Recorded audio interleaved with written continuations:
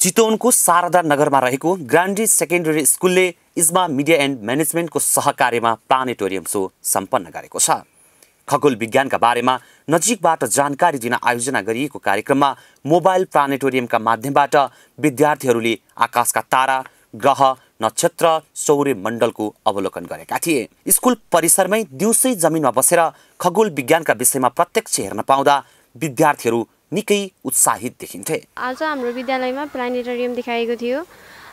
जसमा चाहिँ छिर्दाखेरि आफू होइन बाहिर अन्तरिक्षमा गए जस्तो महसुस गरेको थिएँ।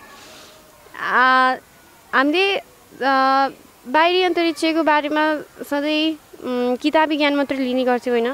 तर आज चाहिँ आफ्नै आँखाले प्रत्यक्ष रूपमा त्यही पुगेर हेरेको जस्तो लागि लागिरहेको महसुस गरेको थिएँ। धेरै कुराहरूको हामीलाई राम्रोसँग ज्ञान थिएन। जस्तो त्यो कन्सटिलेसनहरू ग्रहहरूको बारेमा एकदमै नजिकैबाट जान्न पायो। व्यावहारिक गुणस्तरीय र जीवन उपयोगी शिक्षा आजको आवश्यकता हो।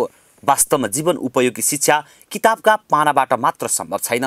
त्यसकारण पनि यस्ता कार्यक्रम विद्यार्थीको क्षमता अभिवृद्धि गर्नका लागि महत्त्वपूर्ण हुने ग्रान्डी सेकेन्डरी स्कुलकी प्रिन्सिपल मिना गुरुङ बताउनुहुन्छ। किताबमा पढेको र आँखाले आफूले देखेको धेरै मेमोरी हुन्छ त्यो पढेर बिर्सिन्छ तर भनिन्छ नि त जस्तो रिडिङ रिडिङ गरेर अब बिर्सिन्छ तर देखेको कुरा चाहिँ नै कहिले पनि बिर्सिन्न।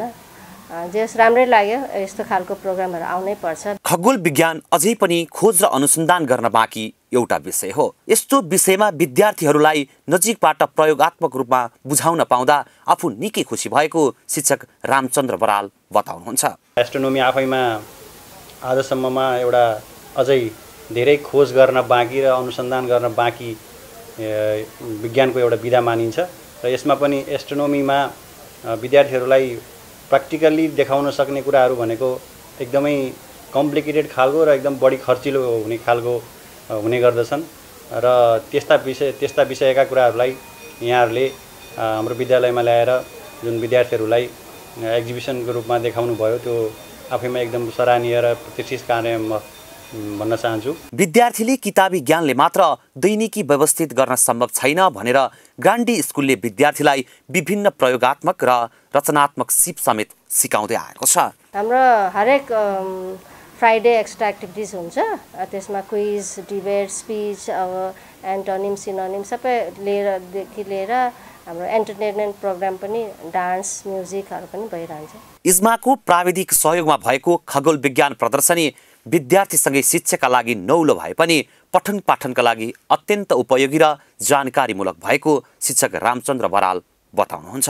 यसबाट विद्यार्थीहरूले सिक्ने कुराहरू म आफूले पनि त्यो अवलोकन गरिसके पछाडि मैले धेरै कुरा पाएँ।